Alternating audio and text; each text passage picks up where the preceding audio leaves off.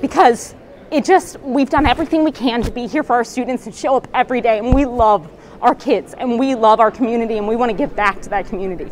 And you can hear it in her voice right now. Teachers filled with emotion after receiving their first doses of the COVID 19 vaccine. And with that, we say good evening. Thanks for joining us here at 5:30. I'm Adam Clements. And I'm Megan Mongello. Some tri-state teachers working in classrooms with their students since August get their first dose of the vaccine today. Local 12 Jenna Cisneros reports from Lakota East High School and gives us a look at today's distribution in Butler County. We've been waiting for this for a while. As teachers and staff rolled up their sleeves to get their COVID 19 vaccine, they leave with a sense of relief. I think today for a lot of us is just about hope and it's just that sign that things are going to get better and we're going to look up.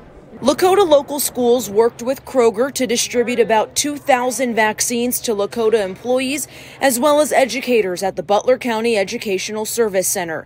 Superintendent Matt Miller says about 80% of his staff chose to get vaccinated. I have to be really honest too that this has been really hard for teachers and staff just because people don't want to get sick and, and families don't either and kids don't either.